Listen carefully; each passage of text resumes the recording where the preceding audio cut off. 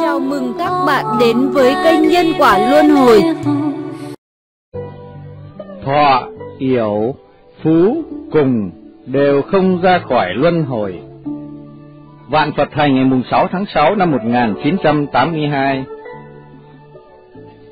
Thử nhìn xem những ví dụ lịch sử về kẻ giàu nhất, người sang nhất, kẻ nghèo nhất và người bần tiện nhất. Thạch Sùng Phú Hậu Phạm Dũng Cùng, Vận Vãn Cam La Thái Công Tảo, Bàng Tổ Thọ Cao Nhan Mệnh Đoàn, Lục Nhân Đô Tại Ngũ Hành Trung. Nghĩa là Thạch Sùng Dầu Sụ Phạm Dũng Nghèo Sơ, Cam La Thời Trễ Thái Công Vận Sớm, Bàng Tổ Sống Dai Nhan Uyên Chết Yểu, sáu người nằm gọn, phạm vi ngũ hành. Xưa nay, người có tiếng giàu nhất là Thạch Sùng, người đời nhà Tấn, người ta gọi ông là Phú Khả Địch Quốc, giàu bằng cả nước vậy. Có lần, Thạch Sùng và người bạn ăn tiệc, người bạn mới lấy trong kho ra một cây san hô cao hai thước tám tấc để cho Thạch Sùng ngắm.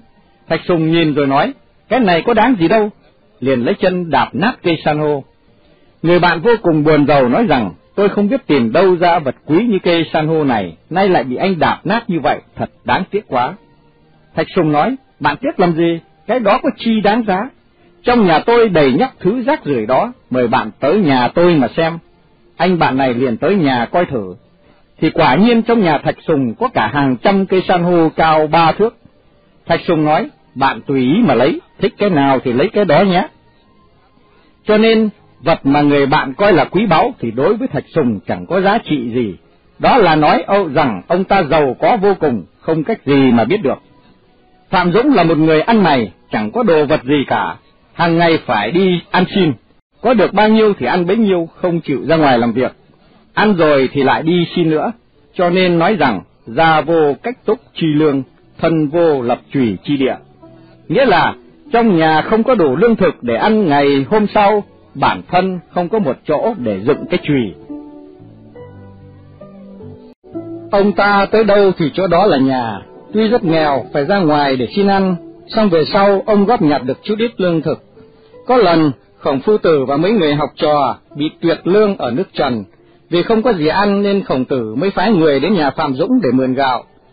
Các vị xem, Khổng Phu Tử là một người có rất nhiều đệ tử, mà bây giờ ngài phải đến một kẻ ăn mày để xin gạo, như vậy không phải là điều đáng buồn cười sao? Lúc đó, Tử Lọ theo lời dạy của Khổng Tử tới nhà Phạm Dũng và thưa rằng, thầy của tôi hiện tại chẳng có đồ ăn, bởi vì nước Trần tuyệt hết lương thực, cho nên tôi mới tới đây để mượn một ít gạo. Phạm Dũng nói rằng, bạn muốn mượn gạo cũng được, song tôi có mấy vấn đề hỏi bạn, nếu bạn đáp không được thì tôi không cho mượn. Tử lọ trong lòng đầy tự tin mới nói rằng, được, ngài cứ hỏi đi.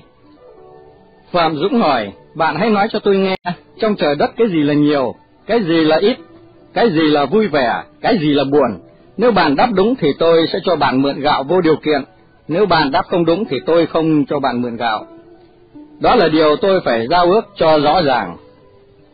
Từ lo nói, câu hỏi dễ quá, thật là hết sức đơn giản. Trong trời đất thì ngôi sao là nhiều, mà mặt trăng là ít. Vui vẻ là khi đám cưới, buồn bã là khi có người chết. Phạm Dũng nghe xong khoát tay nói, chẳng đúng chẳng đúng. Từ lọ tự nhận thấy lời đáp của mình thật là tuyệt hảo, đúng không chỗ sai, và chẳng có câu trả lời nào có thể hay hơn được. Ông cho rằng Phạm Dũng vì không muốn cho mượn gạo nên tìm cách chối từ, song ông cũng không có cách gì khác nên đành tức giận bỏ về. Khi gặp khổng phu tử, ông nói, thưa thầy, tên Phạm Dũng này thật là khả ố, chẳng biết đạo lý gì cả. Sau đó tử lọ nhất nhất kể lại lời đối đáp của đôi bên cho khổng tử nghe. Khổng tử nghe xong nói, con đã trả lời sai rồi đó. Tử lọ kinh ngạc vô cùng, hỏi lại, Phạm Dũng nói con sai là bởi vì y đứng trên lập trường của y, thầy phải đứng trên lập trường của con mà nói, tại sao thầy cũng nói con trả lời sai? Khổng tử đáp, con hãy nghe lời ta nói đây, trong trời đất kẻ tiểu nhân thì nhiều, mà người quân tử thì ít, lúc vui vẻ là lúc cho kẻ khác mượn, lúc buồn bã là lúc mượn kẻ khác, con hãy trở lại gặp Phạm Dũng mà nói như vậy. Bây giờ, tử lộ trở lại nhà Phạm Dũng và lặp lại lời Đức Khổng Tử. Phạm Dũng nghe xong thì nhận ngay rằng lời đáp thật chính xác vô cùng, cho nên đem gạo lại cho tử lộ mượn. ông lấy đầy một gánh gạo cho tử lộ gánh về. Xong đoàn gánh này là vật bảo bối, gạo bỏ vô rồi thì ăn không bao giờ hết. Dùng bao nhiêu nó lại đầy bấy nhiêu, cho hay kẻ nghèo cùng cũng có bảo bối.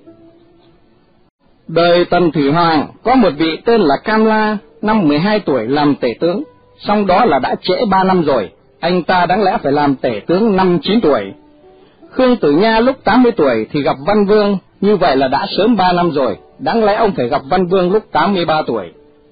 Cam La còn trẻ để đã làm tể tướng, mà Khương Tử Nha thì lại đến lúc rất già mới gặp Văn Vương. Bàn tổ sống đến hơn 800 tuổi, cho nên tuổi thọ rất cao, nhưng Nhan Nguyên đệ tử của Khổng Tử chỉ sống đến 30 tuổi rồi chết, nên gọi là yểu mạng. Nhan Nguyên tuy rằng mạng ngắn, nhưng trong các đồ đệ của Khổng Phu Tử, ông là người thông minh nhất.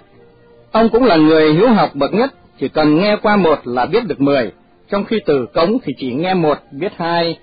Lúc Nhan Nguyên mất, Khổng Tử vô cùng thương tiếc mà nói rằng, thiên táng dư, thiên táng dư, ý nói, trời làm cho đạo ta mất đi vậy, trời làm cho đạo ta mất đi vậy. Sáu người này có kẻ thì hết sức giàu có, có kẻ vô cùng nghèo khốn, có kẻ sớm có địa vị cao, có kẻ trễ nên quý phẩm, có kẻ hết sức sống lâu, có kẻ lại chết sớm. Song sáu người này không ra khỏi vận mệnh của ngũ hành, kim, mộc, thủy, hỏa, thổ. Họ đều là ở trong vòng ngũ hành quay đi lộn lại, tuần hoàn trong vòng luân hồi, cho nên nói, đời người thật là như giấc mộng ảo hóa, như giọt sương đầu lá, như ánh biển chớp, hãy luôn quán chiếu như vậy và đừng nên chấp trước. Lúc đó mình sẽ không có phiền não, tu hành mà biết thấy suốt rồi buông xả thì càng tốt hơn nữa. Nếu không thể nhất thời buông hết mọi thứ thì phải từng bước từng bước, từng việc từng việc mà buông xả, đừng nên lưu luyến ở mãi trong lục đạo luân hồi này làm gì. ha ha ha, 问什么的说？